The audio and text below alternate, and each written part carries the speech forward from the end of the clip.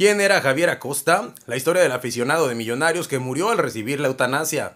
Este viernes el bogotano de 36 años fue sometido a la eutanasia luego de adquirir una bacteria que se extendió hasta los huesos y le ocasionó cáncer en la sangre. Este viernes Javier Acosta recibió la eutanasia luego que adquirió una enfermedad derivada de una bacteria y sus posibilidades de recuperación eran mínimas. El aficionado de Millonarios de 36 años de edad tuvo un accidente de tráfico que lo dejó en silla de ruedas, pero una bacteria en una piscina le provocó una infección y llegó hasta sus huesos lo que causó un cáncer de sangre. Después de cinco años de luchar contra la enfermedad, de que el cáncer comenzara a desarrollarse y de que los tratamientos no le hicieran efecto, Acosta decidió someterse a la eutanasia. Esto en lugar de vivir en un hospital. Pero, ¿quién era Jorge Acosta, el aficionado de Millonarios que falleció? Jorge Acosta, originario de Bogotá, Colombia, era aficionado a Millonarios, club histórico de fútbol colombiano.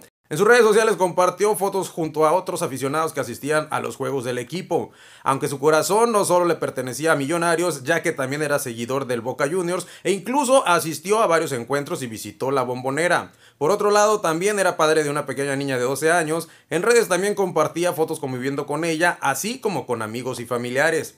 En declaraciones obtenidas por la agencia EFE, Acosta expresó que no le gustaba la idea de ver a su hija cuidándolo en lugar de vivir su niñez. Me gusta moverme, entonces al imaginarme mi vida sin mis piernas en una cama con antibióticos, viendo a mi hija cuidarme, perdiendo su oportunidad de tener una niñez, una juventud, dije, yo quiero la eutanasia. En último video de sus redes sociales comentó, se acabó la vida y hago el en vivo para despedirme de todos los que más adelante no tendré fuerzas para decírselo. No es fácil tener una infección de estas, mencionó. Antes de recibir la eutanasia, Acosta recibió una llamada de Radamel Falcao y le dijo que le dedicaría el primer gol que marque con la camiseta de Millonarios. Descanse en paz.